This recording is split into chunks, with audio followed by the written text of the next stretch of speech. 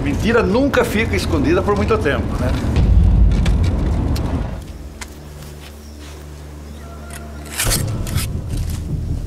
Nem consegue se enganar tantos por tanto tempo.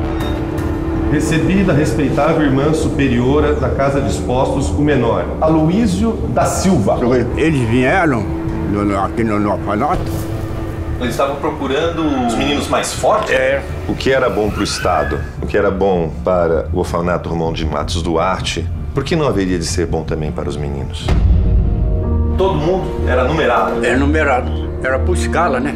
Tamanho. Ele quis preto só, porque branco ele não quis. Depois da lavoura vinha aquela cocheira de novo. Acabamos os cavalos, mergulhado nos carneiros lá no, na grama. Vocês eram remunerados? Não. Era só a comida e mais nada. E assim é a vida. Esse período é o mais racista da nossa história. Acabou o escravo, mas aí como que nós vamos inferiorizar os trabalhadores?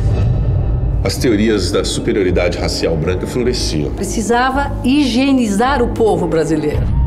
A sociedade era essa que aceitava tais ideologias e tais práticas como sendo não só é, comuns, como louváveis.